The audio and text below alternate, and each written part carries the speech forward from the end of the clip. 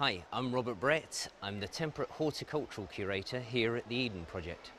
Basically, like a curator in a museum, what I do is, is I oversee all of the horticultural aspects within the temperate region that we actually have here. So we're actually in the what we call the warm temperate biome here at Eden, and that's temperate regions of the world. And so I oversee this part as part of my job.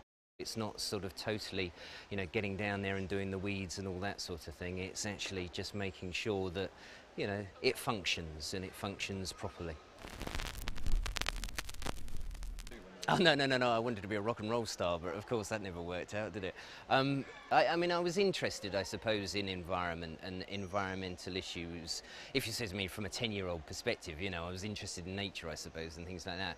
But to tell you the truth, I mean, my dad used to force me to go out into the garden on Sundays and help him in the garden, and all my mates were off playing and all that sort of thing, and I just wanted to sort of go with them. I didn't want to do bleeding gardening and all that. I didn't become a rock and roll star. I found myself working in a field one day to earn some money, etc.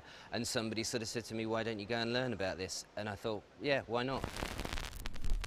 I actually left school and just then went straight into sort of a summer job and that just then sort of continued on and it was just you know I was earning money it was great you know it's well it's one of the best times I think in your life when you've suddenly got all this money that you know in your pocket sort of thing you're still living at home you've got you know and you can go out and spend and enjoy yourself sort of thing. At the age of uh, 18 I actually had my own landscape business. Um, um, admittedly minor, you know, but it was still sort of, you know, and I'd really had this thirst for wanting to know more, you know, and learn more, uh, and, uh, and learn more about plants. And so an opportunity to go to the Royal Botanic Gardens Kew came up and I was successful, I got on.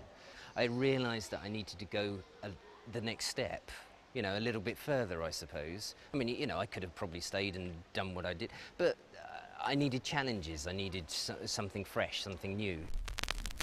If you ever have changing points in your life, I think that was one particular you know, real change for me in my life was the fact that, you know, I'd come out from farming and horticulture, I mean, garden centre work and then commercial, you know, horticulture and gone into this very formal botanic garden setting, but it was the Royal Botanic Gardens Kew. I mean, every time you sort of cycled past the Palm House, it was just like, my God, you know, loads of history here and, you know, still just absolutely amazing. The course finished, but because I'd specialised in orchids, it just so happens that a job came up in the orchid section. So I actually stayed working with tropical orchids for a further five years. And then, um, you know, I'd narrowed down too much and I wanted to broaden out a bit. And a, uh, a job came up at Cambridge University Botanic Garden, which was totally dealing with all of their glasshouse. So I was the supervisor of the glasshouse environment there. And that was, you know, that was just a, another fantastic step for me. There's some fundamental things that we're having problems with, with people and the planet and issues and things like that that are going on.